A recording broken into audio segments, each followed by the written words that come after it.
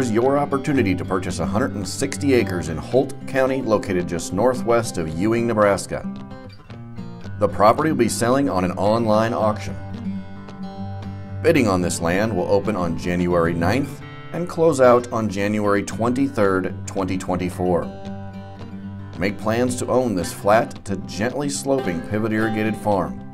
Included in the sale is a 10 tower Zimmatic pivot, a diesel power unit with generator, a Amarillo gearhead with pump, and a 1,000 gallon fuel barrel.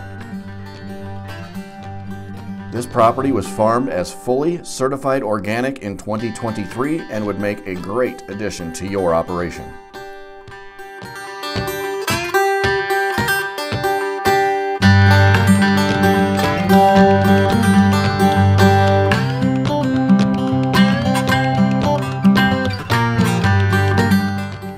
More information, contact the listing agents.